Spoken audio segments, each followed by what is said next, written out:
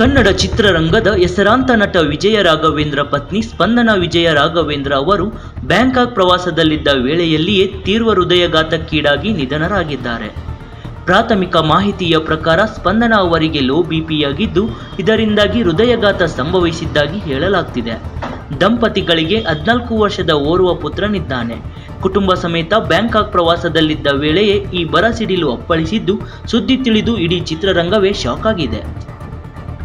ಸ್ಪಂದನ ತಂದೆ ಬಿಕೆ ಶಿವರಾಮ್ ವಿಜಯ ರಾಘವೇಂದ್ರ ಸಹೋದರ ನಟ ಶ್ರೀ ಮುರುಳಿ ಸೇರಿದಂತೆ ರಾಜ್ ಕುಟುಂಬಸ್ಥರು ಸದ್ಯ ಬ್ಯಾಂಕಾಕ್ ಕಡೆಗೆ ಪ್ರಯಾಣ ಬೆಳೆಸಿದ್ದಾರೆ. ಇನ್ನು ಮಾಹಿತಿಯೊಂದರ ಪ್ರಕಾರ ಸ್ಪಂದನ ಅವರ ಪಾರ್ಥಿವ ಶರೀರವನ್ನು ಮಂಗಳವಾರ ಬೆಂಗಳೂರಿಗೆ ತರುವ ಸಾಧ್ಯತೆಗಳಿವೆ ಎಂದು ಹೇಳಲಾಗಿದೆ. Nine Kannada news, Bengaluru.